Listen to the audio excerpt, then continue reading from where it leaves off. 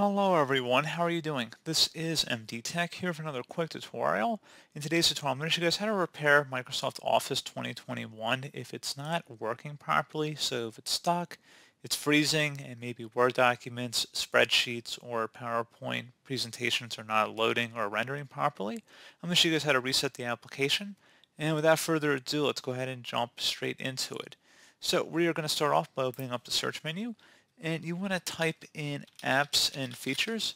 Best result should go back with apps and features. Go ahead and open that up. And in the apps list field, you want to go ahead and type in Office. Best result should go back with Microsoft Office. Go ahead and select the three dot icon next to it and select the Modify button. If you receive a user account control prompt, select Yes.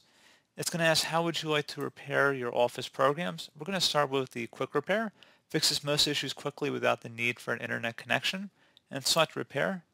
This shouldn't take very long, but you won't be able to use your Office programs until we're done. Go ahead and select Repair. Give this a couple minutes to run here.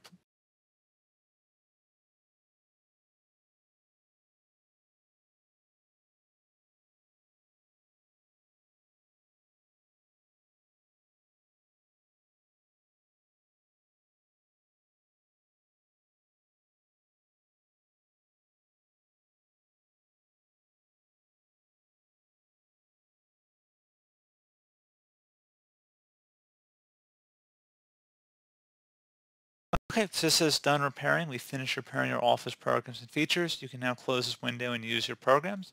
Select Close. I would attempt to relaunch whatever program specifically you're having the problem with.